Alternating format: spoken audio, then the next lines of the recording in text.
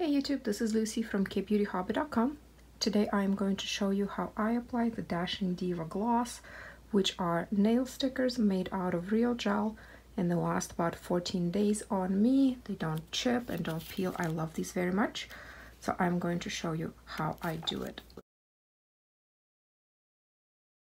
As you can see, I have quite a few different designs here, including a pedicure pack some of them I've already used, of course, and some are brand new.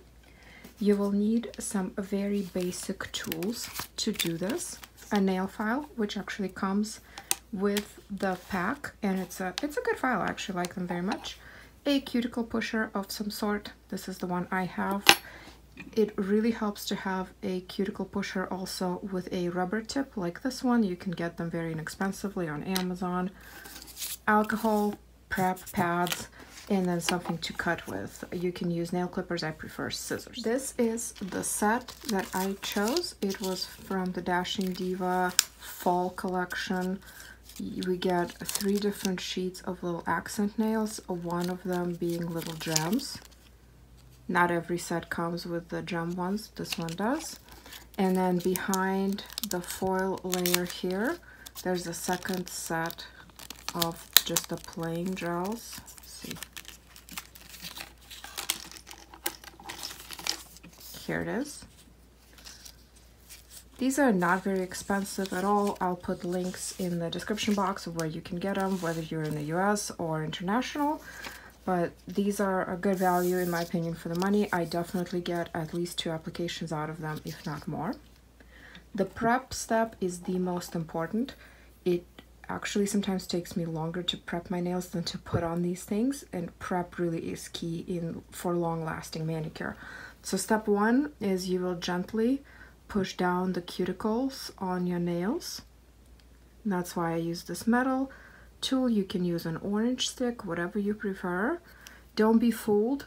If it looks like you have no cuticle, I would still push down a little bit. Do you see this part? There's something called invisible cuticle, and it is basically skin there that you can't see. But if you put a sticker on top of that, it will not stick. That's where people have peeling and lifting issues. I do not cut my cuticles. Of course, you do whatever you'd like. As a reminder, I'm not licensed in any way. I just do nails often, just my own. So I know what works for me, but you, of course, do what works for you. I already prepped my nails a little bit before this, just to save time. So it actually takes me a bit longer typically to push my cuticles down but for the purposes of this video I try to save a little bit of time. Then we want to figure out probably which nails will go where and then use the alcohol wipe to wipe off any sort of oil or anything that you may have on your nails. These alcohol prep pads are very inexpensive. If you'd rather use a bottle and then just saturate your own cotton pad, you can do that. I find that that produces quite a bit more lint, however. These pads are not lint free, but they're way less linty than the regular cotton pads you may get. I went through and picked out which sizes work for my nails and lined them up. This is the left hand, this is the right hand. I did have to trim one of the thumbs a little bit just to make it fit my nail size. In general, when in doubt, go a little bit smaller versus a little bit larger. If you pick a sticker that is too large, it will overlap some of your skin and again, you'll have lifting and peeling. Next is the application process. I recommend using little tweezers or you can just use your hand if you want but you don't want to touch the part that will be sticking to your nail with your fingers.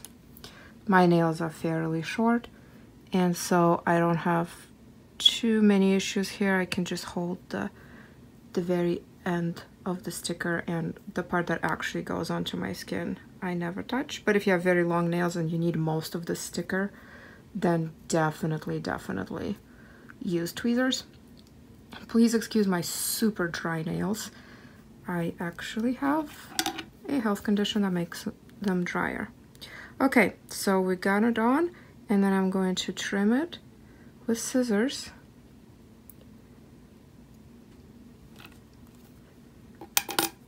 Okay, then I'm going to take this rubber cuticle pusher and I'm going to just press it down and this is what eliminates any little air bubbles in there. This step of pushing it down with a rubber cuticle pusher really, really makes these last a lot longer. This does a much better job than just your fingers. And then the last step is to take a nail file and file vertically, not side to side, just a little bit to make sure that the sticker is completely flush with your nail. Because again, if any of it is hanging off, that will be the part that catches and you'll have peeling. So that's it. Now, if you don't want to use scissors or clippers, I'll show you another way. So go to the next nail, peel it off, apply it. You want to get as close to your cuticle as possible without actually going over it. Push it down.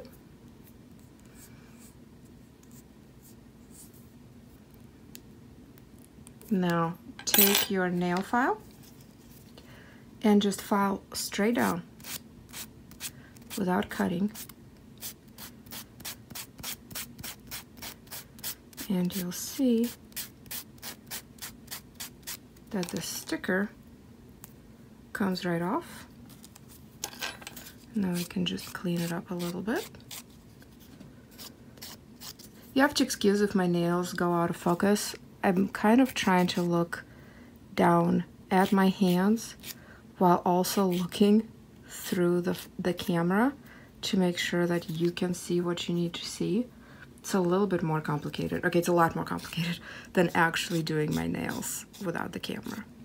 I'm going to pause here and go ahead and apply all the rest of them and then I will show you what it looks like and I'll show you my last little trick for making them last even longer.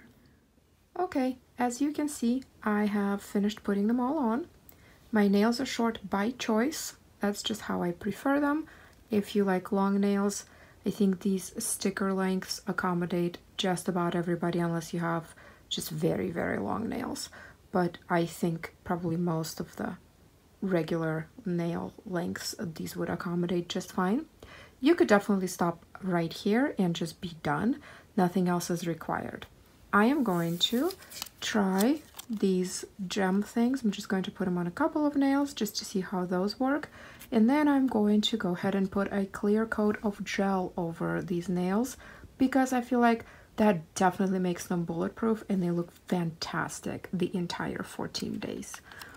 Looks like there's this little outline that's not part of the sticker, that's just part of the little paper behind it. And I think that's there uh, for you to gauge size. So I'm curious how these work. I've never used the little drums. Okay, don't want to damage them. That was a little bit hard to peel off to be honest. Put it on and smush it down. Dashing Diva also makes magic press nails, which are the plastic feeling nails that you just peel the backing off of and smush those on. Those are definitely faster to apply than these. They last about, it says up to seven days on the website. For me, they last about 10. I do have a video on how to do those. And in the beginning of that video, I show you what these kinds of nails, these gloss ones, look like after being on for a while. So definitely check that out if you're interested. Okay, I think I'm going to put this one there and that will probably be it. I feel like I have a lot going on already on these nails, but I'm just so curious with these little gem things. Okay, that little one was a lot easier to remove than the big one. Okay. I'll use my little tool.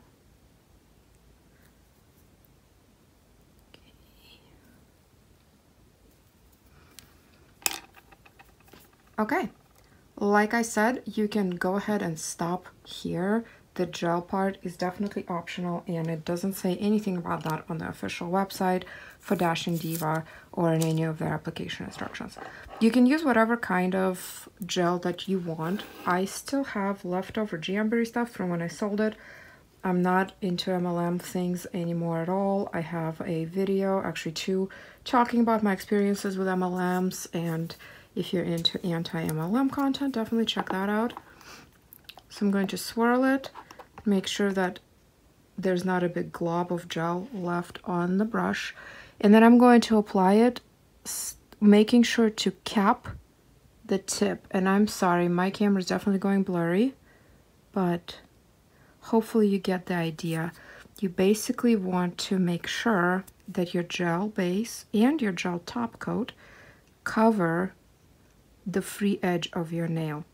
If your sticker was going to peel anywhere at all, it would start peeling either at the cuticle because you didn't push the cuticle down well enough, or it will start, start peeling at the tips because you are using your nails as tools, you are scraping stuff, whatever.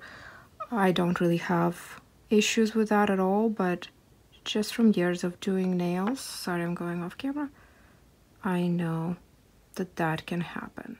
Okay, the base coat is on all of these. Now I'm going to take my lamp, and any kind of gel lamp is fine.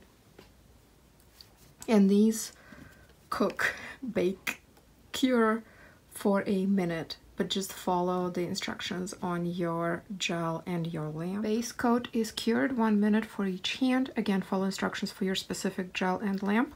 The next step is the top coat, and that's the final step of this whole process. A little tip, do not shake your bottles. You want to kind of twirl them instead. That goes for all polish. It basically prevents all clumps in the brush and then when you pull it out, do it with a circular motion. Same thing as with the base. You want to make sure you cap the free edge. I have this newfound respect for YouTubers that do all of these nail application videos or like really close-up makeup things, especially if they do not have a production team this is super hard. It is really difficult to make sure you actually A, do a good job, and B, everything is in focus and that you're looking at what you're doing and also looking at what the camera is seeing. It is like nearly impossible. So hopefully you understand I'm not a professional YouTuber and hopefully you have some grace for me. The top coat is on. Now we're going to cure that for one minute on each hand and we will be almost done. I'm all for the official instructional videos for these things on the Dashing Diva website, but I feel like they're very simplistic.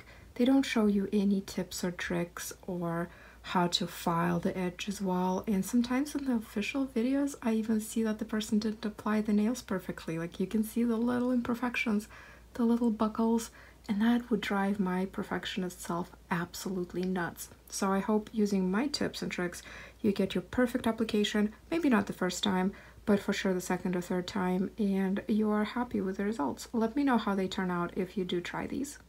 The very last step is to take an alcohol wipe and just wipe off your nails.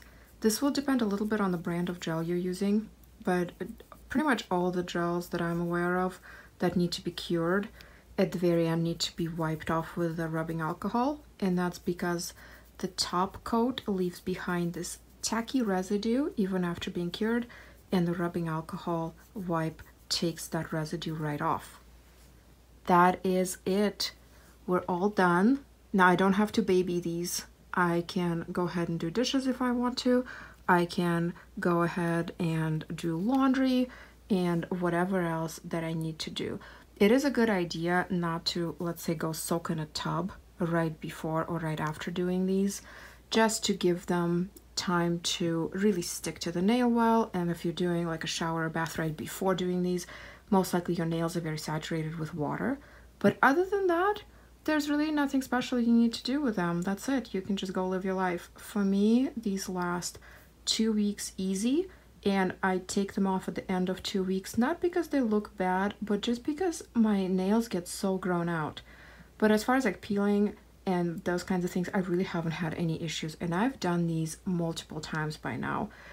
I think I got my first set in early summer, and I've basically been doing these or the magic presses consistently. I just really love having things on my nails. Removal is easy. You just need to soak a Q-tip or a wood stick in some polish remover and gently slide it between your nail and the wrap. Do not just rip off these stickers, of course, you will do damage to your nail, but with gentle removal, no problem. I hope this was helpful to you. Don't forget to subscribe, uh, leave me a comment and a like, and you can also find me on Instagram at kbeautyhobbit and on my blog, kbeautyhobbit.com. Thank you so much for watching. I will see you in my next video. Have a great one. Bye.